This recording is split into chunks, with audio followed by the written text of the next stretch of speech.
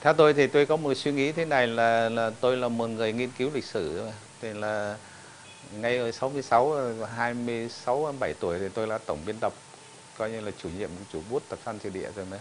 Từ đó thì ra là tôi vẫn ờ, thấy rằng là cái ờ, tại sao mà tôi làm như vậy? Bởi vì tôi tôi muốn là thể hiện cái cái nghề nghiệp của mình.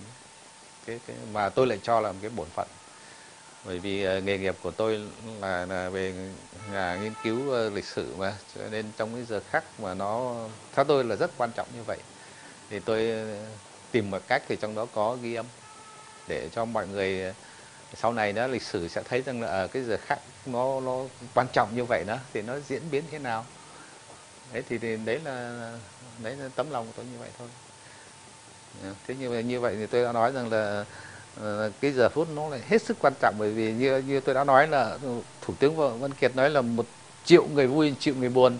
Thì tôi nghĩ là trong ngàn năm nay cũng chưa có một cái thời khắc nào nó đến mức độ đó. Có một cái thể hiện cái đó cho nên là tôi thấy là rất trọng đại. Tôi, tôi cũng bất ngờ tôi cũng ờ, cũng ờ, cũng vui chứ.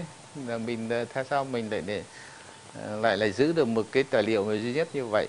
Ờ, ờ, trong khi thì thì hàng triệu người đã nghe và nhiều cơ quan đã, đã, đã có liên quan nó cũng biết biết chứ mà tại sao không không giữ?